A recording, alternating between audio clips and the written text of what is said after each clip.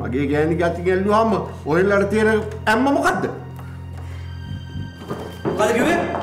නංගි මම මේ කියන දේ වැරදියට තේරුම් ගන්න එපා.